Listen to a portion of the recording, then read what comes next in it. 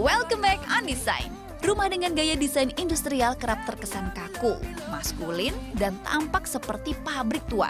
Namun tidak dengan rumah yang satu ini. Rumah dengan konsep industrial yang ramah anak. Seperti apa jadinya? Check this out. Sebenarnya sih pengennya rumahnya tuh bisa kelihatan karena kita punya anak masih kecil ya, jadi harus dipantau. Jadi pengennya sih rumahnya itu bisa dilihat dari semua arah gitu. Jadi anak-anak ke mana kita bisa pantau. Jadi kalau dari kita dari bawah sini bisa kelihatan ke atas, dari atas bisa kelihatan ke bawah. Intinya sih biar terasa dekat lah antara keluarga. Nah, untuk menciptakan kesan hangat dan tidak kaku pada rumah industrial, pemilik memilih untuk menggunakan beberapa furniture kayu serta sedikit sentuhan feminin pada pengaplikasian dekorasinya kalau kita tema industrial tuh kesannya maskulin banget ya, terlalu lelaki gitu. Kita siasatinnya dengan material furniture dari kayu, biar kesannya natural dan hangat di dalam ruangan. Lantainya juga kita pakai parket, parket material kayu juga yang sama semada dengan furniture yang lain, supaya anak-anak main di sini nyaman untuk dijalanin pakai kaki.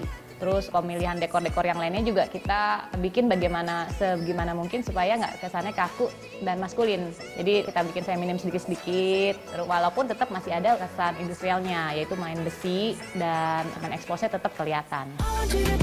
Sementara itu, untuk membuat anak dan keluarga tetap merasakan kenyamanan saat berada di rumah, pemilik pun membuat beberapa area menarik. Itu kalau kita masuk dari pertama, itu sebelah kirinya itu memang area khusus untuk anak-anak main outdoor.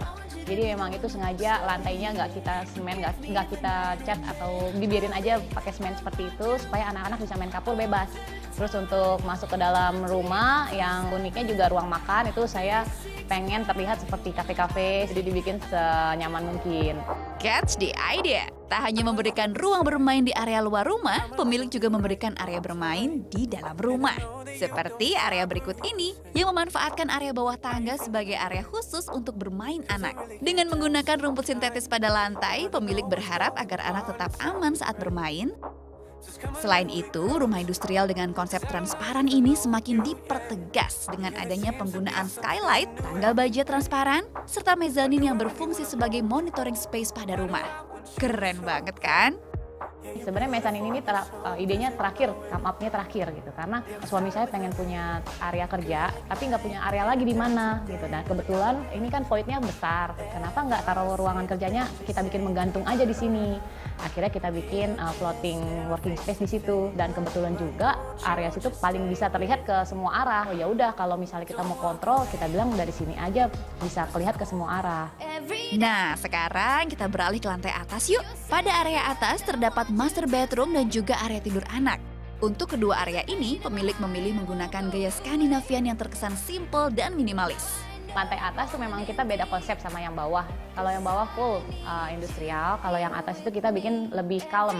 Karena pemanfaatannya buat kamar tidur, kita jadi bikin uh, semi Skandinavian. Jadi biar kelihatannya bersih, simple. Uh, pemilihan temboknya juga warnanya kita bikin warna putih. Untuk kamar anak, karena saya punya tiga, anaknya tiga, kebetulan sekarang masih kecil, jadi masih saya jadiin satu kamarnya.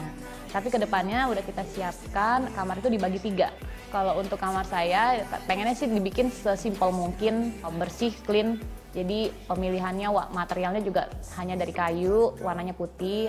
Terus untuk kamar mandinya juga semua sitru bisa kelihatan dan ada juga skylight dalam kamar mandi. Pengennya supaya kesan ala-ala villa-villa Bali gitu. Jadi mandinya tuh di outdoor, semi outdoor. Gitu. Wah, unik ya. Dengan memberikan sentuhan dan penataan yang tepat, ternyata desain industrial bisa loh menjadi rumah dengan suasana yang santai, nyaman, dan ramah anak. Tertarik menata rumahmu dengan desain seperti ini? Selamat mencoba!